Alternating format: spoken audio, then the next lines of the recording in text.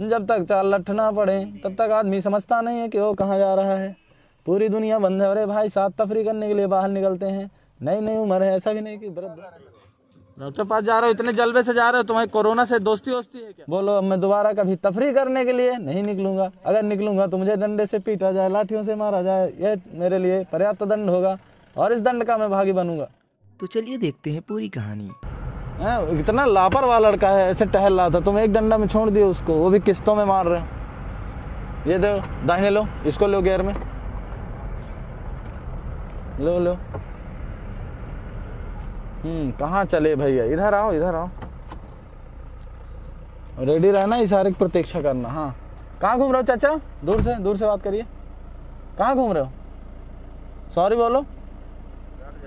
घर जा रहे हो। कहाँ से आए हो? काहे के लिए गए थे बहेरा डाबर? कौन सा काम चल रहा है? अभी चल रहा है ईटा गारा वहाँ? तो फिर? पैदल आए वहाँ से? कितनी दूर से? कितना है बहेरा डाबा यहाँ से? दूर है। जा जाने दो। घर जा, चले जाना बेटा बाहर मत निकलना अब है ना? मास्क नहीं है तुम्हारे पास? हम्म? लो ये मास्क पहनो। घर से मत निकलना, दूसरी मीटिंग में मैं इतना अच्छा नहीं मिलूँगा। है ना? चलो, ठीक है। जाओ। बैठो बैठो। अरे, वो आ रहे हैं, तुम्हारे ग्राहक चल के आ रहे हैं। कहाँ परेशान हो? वो मुड़ गए, वो मुड़ गए। वो जागरूक आदमी मुड़ गया।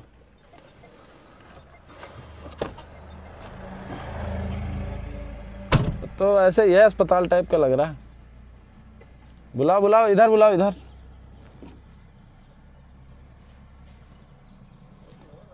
बस बस बस बस बस बस बस। कोई दिक्कत नहीं। कहाँ से आ रहे हो आप?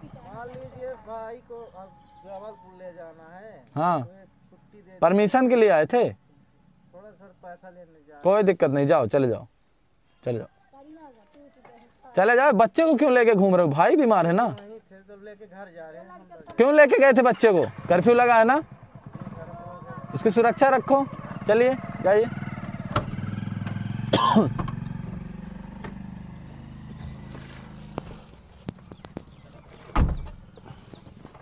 चलो आगे बढ़ाओ ये कौन आ रहा है? ये भी शायद दूर से आ रहा है। इसके पीछे है एक लापरवाह लड़का। उसको कैच करो। ये तो बैग टांगा है ज़ाहिर सी बात है बाहर से ही आ रहा होगा। पूछ लो पूछ लो खाली पूछ लो पूछने में क्या जाता है। पूछ लो कहाँ से आ रहा है? कहाँ से आ रहा हो भैया? कहाँ से आ रहे सर आ रहा है मेरा ढाबा। अच्छा तुम भी लेबर ही हो? उसी के साथ वाले हो? चले जाओ घर से मत निकलना घर में रहना। है ना?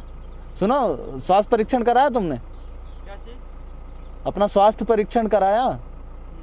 कहाँ पे? से आ रहे हैं से। अरे महाराज इनसे पूछो यार इनकी भाषा। अस्पताल गए थे। बंद कर दो नहीं बंद करके रखो बंद करके रखो। अस्पताल गए थे? पूछो। अस्पताल गए थे। हाँ, अरे वो निकल गया केपी वो फटफटिया वाला। लो। करवा लेना। बस स्टैंड में जाना बस स्टैंड यहीं पे है ना मोड़ पे है तो बता चेक करा लेना तबीयत ठीक है? तुम्हारी तबीयत लग नहीं रही सही? है आँखें कैसी तुम्हारी? अच्छा बचपन से। मंजी मंजी आँखी है। मंजी मंजी। चलो ठीक है। जाओ मंजा जाओ। हाँ इब्रेटली आ रहे हैं सामने से। अरे भैया वाह। इधर आओ इधर आओ। उधर जाओ उधर से आओ आओ इधर बात करते हैं चार बातें कर लें यार आ जाओ आ जाओ। दूर से दूर से दूर से दूर से। हाँ क्या नाम है आपका? रमाकांत सर। कहाँ रहते हैं रमाकांत जी? रूम जा रहे हैं। कहाँ से आए हैं आप? टहलने के लिए ऐसे है। ना? अच्छा आपको पता है कर्फ्यू लगा है? तो फिर आपके लिए नियम नहीं है क्या? नहीं जाओगे? इसको कान पकड़ के उठक बैठक लगाओ यहीं। सौ उठक बैठक गिनती से लगाओ यहाँ। कोई डंडा वंडा नहीं। बैठो, सामने हो हाँ। घर से बाहर नहीं निकलूँगा। बोलते जाओ। दो ही तीन नहीं। दो, इधर। बोलो, गलती हो गई। अब नहीं निकलूँगा? जितना शासन ने टाइम दिया, उसी टाइम पे निकलूँगा। बोलते जाओ ये। कथा नहीं सुने कभी। कथा में बोलता है ना मन वो? है ना? क्या बोलता है उसमें? कथा? हाँ। चल जारी रहो तुम जारी रहो। है ना?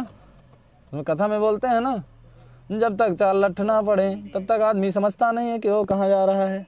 पूरी दुनिया बंद है अरे भाई साथ तफरी करने के लिए बाहर निकलते हैं। नई नई उम्र है ऐसा भी नहीं कि वृद्ध हो। इनसे क्या है? इनसे पूछो। दूध लेके जाने दो। चलो।